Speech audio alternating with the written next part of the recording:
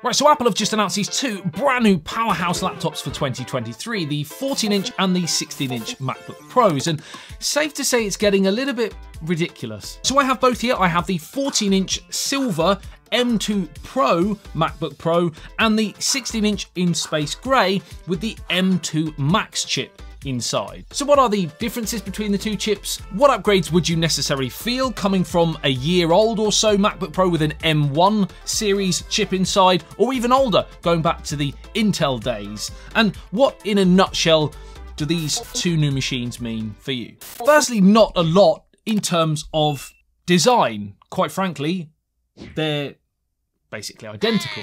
Now, this was kind of expected with this release. Apple tend to have a, a minimum of like a three year or even sometimes longer upgrade cycle when it comes to changing anything drastic with regards to the look. But I must admit, I am a little surprised they didn't go with a Face ID feature. It kind of seemed primed they were going to include that ever since they moved to this notch design on the MacBook devices. If I were a betting man, I do still feel we will see a Face ID feature at some point, possibly with the inclusion of kind of a dynamic island-esque set of features as well across the top, again like we see in the latest iPhones, but I could be wrong. Now, as well as that notch, we also don't see any real display upgrades on the whole from the 2021 model. But that's not necessarily a bad thing because that was excellent. And you also have the same ports as well as the previous gen. So that means MagSafe 3, three Thunderbolt 4s, a headphone jack, an SD card slot,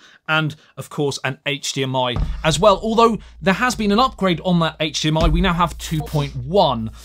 I probably think it possibly should have already been included on the previous gen, having 2.1, um, but nevertheless, that has been upgraded. So that means the external display support has been improved, now up to 8K at 60 Hertz output. Outside of that, same keyboard, same touchpad, same colors.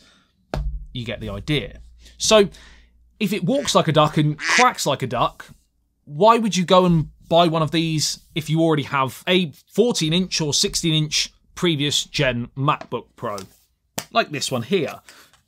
Wow, that is dirty. I apologise. I'm filthy. Well, quite simply, it is a spec bump. Let's cut away the fat here. But how will that affect you day to day? Who are these two new machines for? Well, these two new Apple Silicon chips are there to continue where the M2 left off, as seen in the MacBook Air and MacBook 13 of last year, and also on the Mac Mini one of the models because there's also one with an M2 Pro in as well. So you have an M2 and an M2 Pro, Mac Minis.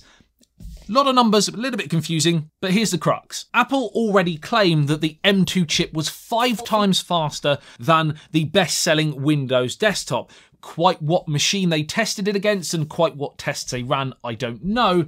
But the M2 Pro and M2 Max are just a ramped up version, scaling up that M2 architecture to raise the bar even further. 40 billion transistors in the Pro version for a chip that small is utterly ridiculous. Like, how is it even possible to produce something that powerful in such a small package?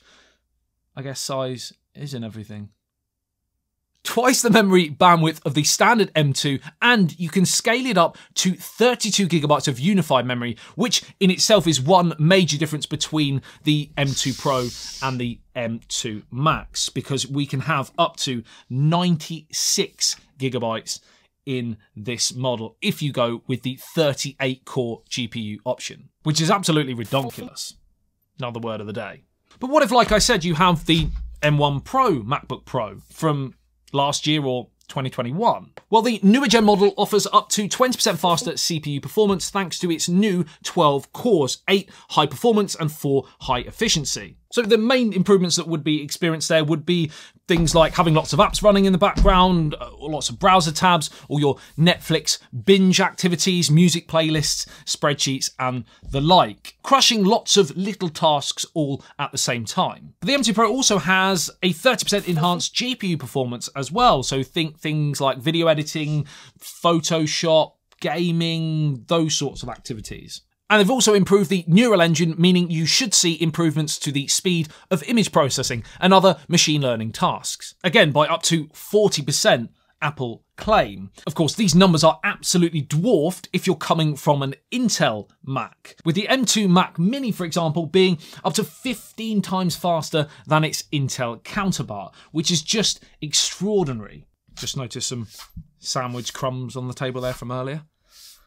I really am horrific. But specifically for the MacBook Pros, if you are video editing and you've got lots of layers, titles, transitions, etc., then you should see up to 20% faster rendering speeds. And again, if you're coming from an i9 Intel machine, for example, which I actually had, I think I had the 2000 and I can't remember, 16, 17, 18 the years blend into one. I had the i9, and when I jumped to the M1 Pro from that, I noticed an, a remarkable difference. It really was incredible, astronomical. So if you are coming from an Intel machine, you are going to be blown away. The difference is scary. Coding is 25% faster, Photoshop image processing 40% faster. Just quite simply, if you are a creator and you love macOS, then this will drastically improve your flirt flirt flow? Flirt? Don't flirt. Work workflow was what I was trying to say. Flirt flow. Hey, if you want to go and flirt flow, be my guest. oh no. but what about its big sibling, the M2 Max, the Stonkathon? Apple, if you want to use that for your marketing, you can do. The the Stonkathon 3000. MacBook Pro 16 inch with M2 Max. It's a Stonkathon. I apologise for that. That is probably the worst American accent I think I've ever heard. so for you US viewers, Please take the apology. I will never do that again. So what are the differences? Well, quite simply, the M2 Max has the same CPU as the M2 Pro. It just has a bumped up, improved, enhanced GPU. So this is angled towards the creator even more so. 67 billion transistors, 10 billion more than the M1 Max, and up to 30% faster GPU performance. And also, without testing, before I forget, um, Apple claim up to an hour's battery life improvement over the previous gen. So I was incredibly impressed with the M1 Pro battery life. So if we are getting an hour extra, then that's just even more incredible because again, I noticed that big jump between the Intel and the M1 Pro. So for me, this is quite a clear one.